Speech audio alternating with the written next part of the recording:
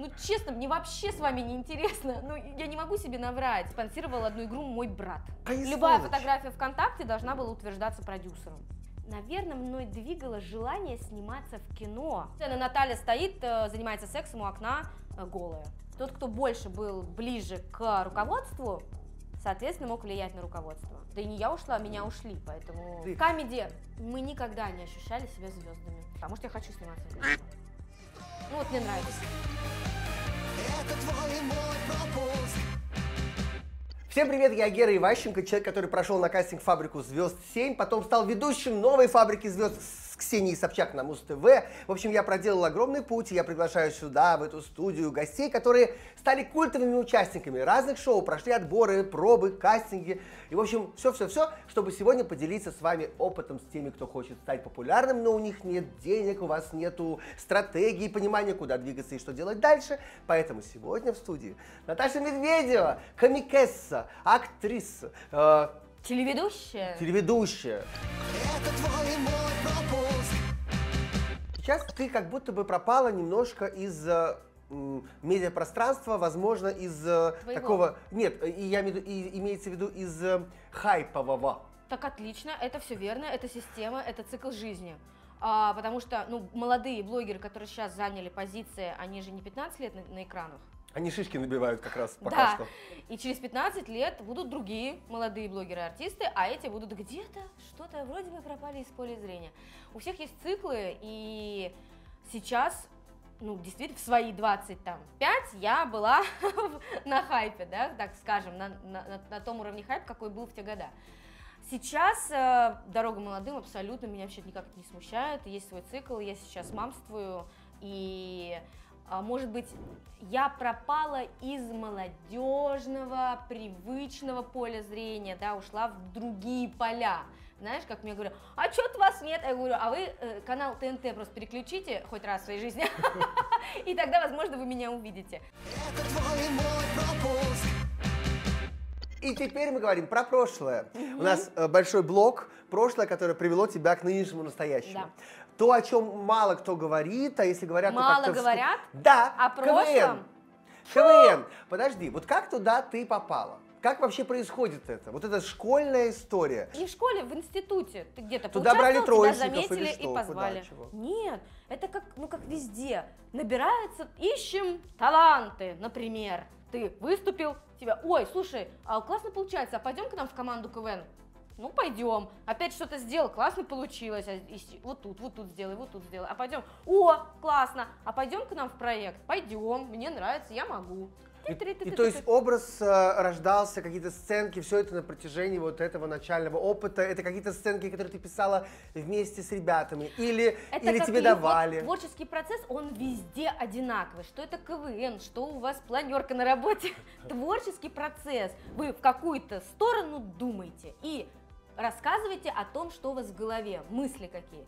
Соответственно, я не знала, как писать юмор, я не знала. Просто э, сокомандники увидели, что я смешная. И иногда они так говорили, ты сейчас что-нибудь делай, а мы попробуем придумать. Ты медленно э, ползла, росла до КВН телевизионного. Как это Нет, происходило? я вообще немедленно. Я, у меня мой путь до телевизионного КВН максимально просто стремительный. Не сравнить путями, да, или с судьбами других КВНщиков, которые по 10 лет идут до телевизионного КВН. Я шла года два, наверное. Ну, вообще и так, о, оп, а что, так? Действительно, вот так просто было? Я никогда не мечтала э, играть в КВН, это не было моей какой-то детским, а, детским пристрастием смотреть КВН с утра до вечера, да, или вот мечты такой не было. Некоторые из твоих к- КВ- КВНовских э, коллег Мгм. Э, не скрывают, сейчас уже как-то более открыто говорят, я не знаю, нормально это или нет, наверное, это может быть логично, но у того же самого Маслякова в КВН команды часто или всегда сами себе должны найти спонсора, оплатить дорогу или еще заплатить за проживание или это за участие. исключительно желание команды, исключительно энтузиазм и вот это юношеский, юношеский максимализм. Это, ну, КВН У вас в было наши такое, года- ну, что конечно, нужно конечно, скинуться всё- там? Мы все сами, мы работали на работах, чтобы эти деньги потратить на билеты в какой-нибудь Ханты-Мансийск, улететь в Северную Лигу и играть там. А как вы искали спонсоров? Э, Было такое, Да. что... Да? То есть ходили и отправляли письма, вот команда КВН играет такой-то, то-то, можем то-то, то-то предоставить а, рекламу, там-там. Ну, то есть и отправляли а, по каким-то заводам. Я просто видел даже сам, когда ты знаешь эфиры, и там прямо э, озвучивают в кадре какие-то благодарственные слова, Да, иногда да. прям конкретному человеку. У меня, у нас так было, что в премьер-лиге спонсировал одну игру мой брат.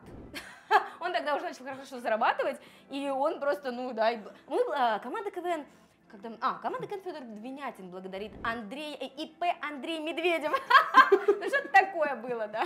То есть, э, если в кадре объявляется спонсор, то дополнительно он не платит за то, что его э, объявляют. Он как раз, э, спонсор оплачивает Существование расходы команды. твоей игры. А были какие-то ограничения? э, Ну, подожди, конечно, я думаю, что существовали команды и существуют, которые выбивают себе еще и зарплаты. Например, да, то есть от этого остается, ну, например, да, щас это договариваться просто на определенную сумму, и ты уже сам эту сумму распределяешь, останется что-то вам как э, зарплата на команду, да, какой-то гонорар или не Ну, типа останется. бриллиантовый завод Сыктывкара. Да, благодаря, да, да. э, Ну, там, например, они оплатили то-то-то, и, а, ну, или они там сэкономили как-то на жилье, да, или не ели и питались дошираками, и на питании, например, сэкономили. Или внесли статью расхода гонорар участникам, возможно. А было ли, э, есть ли какие-то требования, были ли к этим потенциальным спонсорам? То есть, может быть, такая ситуация, мне, не знаю, оплатил алкогольный завод, к примеру, а потом Да, дело доходит до конечно. игры, и мне говорит организатор, мы не можем в кадре озвучить этого человека. И я Конечно, такой, есть определенный список, ну, ты же все равно, ты же, это же первый канал, в любом случае есть э, протоколы, кто может, э, кто не может. Или, например, а, один раз нас хотела спонсировать а нам не разрешили, потому что это слишком крутой спонсор, мы его заберем себе, типа того. серьезно? Ну да, о, такой, как это у вас будет? А, типа, заплатила вам там, условно, миллион, а реклама на Первом канале, э, там, не Ну, знаю, да, этих... да, как бы слишком большой спонсор, да, понимаешь? То есть если бы а, рекламировалось на Первом канале, они бы другие деньги заплатили, а так они заплатили 200 тысяч рублей команде, и такие на Первом канале про них сказали. Ну, то есть просто есть Да-да-да. какой-то этикет. А потом получается заработок на чем? На том, что ка- популярные команды начинают гастролировать. Да, конечно, просто от корпоративов у тебя уже от медийности и плюшки.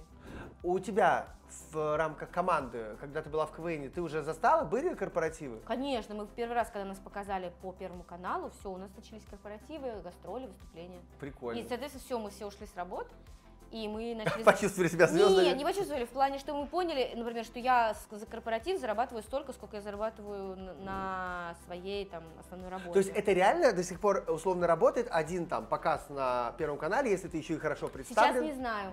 тогда Простите, работало, да, тогда работала. Потому, потому что развлекательных программ а-ля КВН больше не было никаких. Твое попадание э, в Comedy Woman. Там кастингов не было, получается, тебя туда пригласили. Да. Меня увидели в команде КВН «Гламур». Мы, еще не было на тот момент Федора Двинятина. Не существовало этой команды вообще. А, меня увидели в женской команде, Наталья Андреевна. И такая говорит, приходите э, вот с Мариной, с девочкой, с которой мы потом в были. А, До сих пор Наталья Андреевна называешь ее? ну да, ну всем просто понятнее сейчас Да-да-да, скажу. Ну, я к тому, что я для зрителей больше А, так понял. говорю. Так-то она Наташа, да. Тебя попробовали, при- пригласили, был какой-то... Просто она говорит, ой, а вы пишете сами? Я говорю, мы, конечно, сами пишем. А кто нам еще пишет? Пишите сами, У нас, сами. да, у нас денег нет. Она, ну, отлично, приходите, будете сами писать тогда и будете показывать. Потому что, ну, грубо говоря, на вас мы денег на авторов не выделим. Ну, отлично, мы попробуем. Все, мы с Мариной начали придумывать, писать, показывать. И оно заходило, и мы так попали в самый первый состав. С кем? С Мариной Бочкаревой мы попали и в паре выступали. Но потом Марина Бочкарева отказалась. Ты не спрашивал, почему? Не, ну тогда это было понятно, потому что... Еще а, денег не приносила, да? это? Нет, она просто выбрала боль- э, КВН дальше. А, Вот. все, я понял. То есть тогда э, э, условно Comedy Woman не был перспективным, в смысле не было понятно, да, что это не происходит. телевизор был, это были только бары, клубы. А и- как долго это продолжалось? Два года. Ну Вот, кстати, я э, смотрел, да, как раз твой путь и понял, что ты параллельно какое-то время существовала. Э, получается, ты как бы все яйца во все корзины. Ты как Да. бы и там не заканчивала карьеру, и тут э, продолжала, потому что... Нет, я у всех спрашивала, я могу там, и- то есть у вас нормально, ну, грубо да. говоря, команда КВН э, есть, а, она не телевизионная.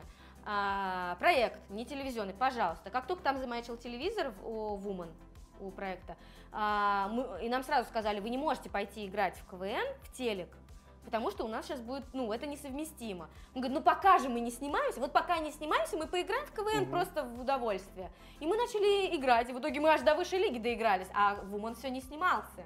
И потом уже все, вот назначили съемки, пилот, ТНТ, все дела. А, ну, супер, начнем сниматься. А, дальше в Вуман, как и планировали два года назад. То есть два года шли все э, разговоры о том, что вот-вот, Вот, вот, вот-вот, вот, вот, вот, вот, сейчас, сейчас, сейчас. И, мы И искали- денег не платили? Или только вот за Нет, эти опять же, корпоративы какие-то были, но очень мало. И всё- вот все пытались попасть на канал, и так, и сяк, и выступали по ресторанам, и как-то э, усилялись, так сказать. Вот, но потом, получается, нашей команде еще предложили продолжить сезон. А я так, подождите, ну вот же, Вуман, мы наконец дождались, э, я не могу так девчонок подвести, я им обещала вообще еще до Двинятина.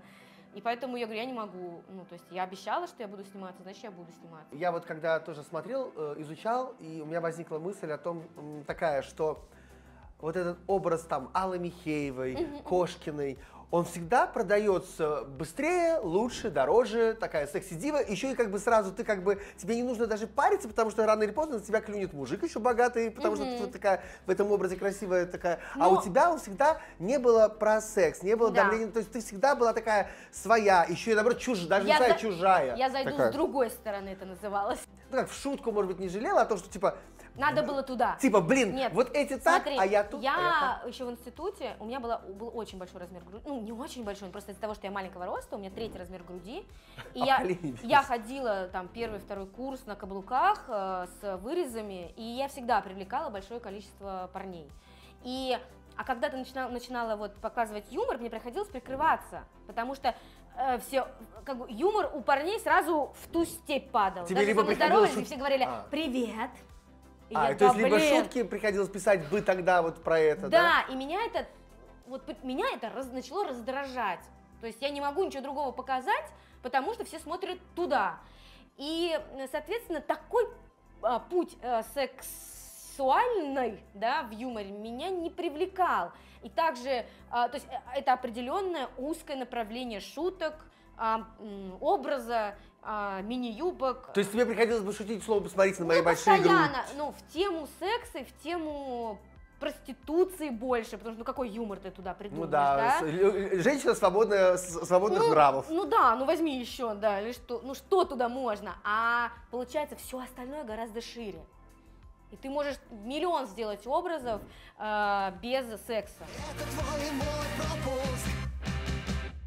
А что касается Comedy Woman, контракт, э, когда вы составили, подписали, на сколько, на серию, на сезон, как это, какие там были пункты, ставила ли ты какие-то условия? Были, были очень, очень жесткий был контракт, но вот я сейчас встречаю молодежи, которые подписывают контракт, какие-то э, спрашивают советы. Вот ничем не меняется молодежь, что сейчас, что 10 лет назад, что 30 лет, не глядя, потому что все хотят туда. Я увидел 70 листов фабрики звезд контракта, мы сидя в гостинице, такие, начали первые две страницы, такие, блин, Да если ты не подпишешь, ты там не будешь. Да, какая цель? Контракт, да, конечно, главное, меня сейчас покажут по телевизору, и вот я теперь звезда.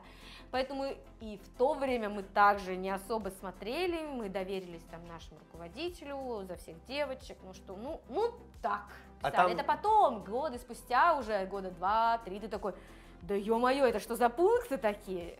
А ну-ка, ну-ка, надо менять. Ну да, и уже начинали какие-то задавать вопросы, То есть, получалось, э, первый контракт был на сколько-то лет или серий? На пять какой- лет он был. А, на пять лет. Это был с продакшеном или с ТНТ уже? Э, с- Нет, конечно, это было с Comedy Club Production. И какие там были пункты? Какие-то общие? То есть был ли у вас совет, были, были между девчонок? пункты, были, понятно, общие пункты. А вы встречались с девчонками, типа, так, Ну, конечно, мы это девчонки, давайте внесем вот это. Не, не то, что внесем, мы возмущались каким-то пунктом А, ну, вместе. Из разряда чуть ли не Ах, они любая фотография ВКонтакте должна была утверждаться продюсером. Чуть ли не генеральным директором С самого а, начала. Comedy Club Production. Типа, чё? Но я думаю, что ты, э, наверное, ушла в тот момент, когда как раз поступило какое-то приглашение, которое... нет, Нет? нет, я ушла в чисто поле. А, то есть ты Вообще, уже... да и не я ушла, меня ушли, поэтому... Это случилось неожиданно или там тебя предупреждали заранее? Нет, в принципе, это уже назревало годами, потому что вот я такая вроде бы Обособленная была. Да, и часто я слышала комментарии, там ко мне, может быть, режиссеры тоже через камеди обращались, и вот это вот э, какая-то, знаешь, такая сносочка, ну она же неуправляемая, вот точно она нужна? Ну, типа, в проект. Как будто я какая-то неуправляемая. Как будто ты на сцене такая же и в жизни. Ну, нет, ну, понимаешь, подтекст неуправляемая. В том плане, что я вот там я снимаюсь, там я имею право, там хожу, то есть я не, не, не сижу и слушаюсь. То есть такая непослушная, типа того. Это копилось. То есть а, участие в одном проекте, в другом проекте, потом на канале там на каком-то еще я поучаствовала. И всех это просто начало раздражать. Какой-то у меня агент появился, понимаешь, никогда так вообще никто не понимал, что такое директор артиста, агент артиста. А, ты, так э, как я, а ты смекнула раньше всех. да, у меня впервые появился агент, потому что я первая нырнула в актерскую историю и узнала, что там у всех есть агенты, и они всегда были. Это у нас их нет. Но я же так как в актерской, мне, ну, мне тоже нужен просто, чтобы а, следить за договорами, догов- ну, кастинги какие-то, пробы, съемки. И у меня появился, это тоже всех очень сильно раздражало, руководство. И вот это копилось, понимаешь, раз копилось, два копилось, вот там она где-то поучаствовала, мы ей говорили не участвовать, она поучаствовала, давайте ее накажем. То есть э, там раз меня наказали, два меня наказали какими-то гонорарами, участием в гастролях или еще. Потом я отказалась писать номера, потому что я предложила оформлять авторские права все-таки на меня, а мне отказали. Ну, вообще-то я тоже всегда, знаешь, говорю о том, что руководство, которое набирает классный, молодой, горящий коллектив, должны понимать, что если вы растите людей, они добиваются профессионализма, у них, получ- у них появляется опыт. Ну, нельзя к людям относиться как к студентам. Как тогда, Жей, подай, принеси, да. Ну, Нужно то, что- вовремя расти вместе с ними и руководству понимать, чтобы удержать коллектив, там, увеличивать зону э, свободы, влияния, да, там, да, бюджет. Да, да, да. Если бы было просто уважение к твоему росту, наверное, ну, на тот момент, я сейчас просто э, фантазирую, да, что, может быть, как-то уважительно относились просто к интересам, не обесценивали твой рост, в плане твоей желания, твоей мечты, потому что у тебя мечты были же не только вот сниматься до конца своей жизни, да, то есть у тебя какие-то еще новые-новые планы. Если бы это все поддерживалось, то ты, собственно, весь этот Импульс энергии, энергии туда. да, все, что ты узнавал нового, ты все нес бы сюда, как бы в общий дом, в общий дом Comedy Woman, но этого не случалось, ты, знаешь, как бы получал раз отказ, два отказ, какое-то напряжение, недовольство, критику в свое... Ну и ты отдаляешься, как от любого человека, если тебя будут все время поносить, гнобить, Ну ты да. как бы, ну, не сможешь это выделать, ты начинаешь огрызаться, за- защищать свои границы. Была какая-то, может быть, депрессия, апатия? Нет, депрессии не было. Я точно помню этот день, когда мне позвонили и сказали «С- спасибо, до свидания. Я помню, я так... А я в этот момент должна вести свадьбу у своих друзей. И прям вот день свадьбы. Венчание, то есть прям очень счастливый, светлый день. И я стою, и у меня такое ощущение, вот я вижу себя в поле, и у меня как будто огромные крылья вырастают. И я такая...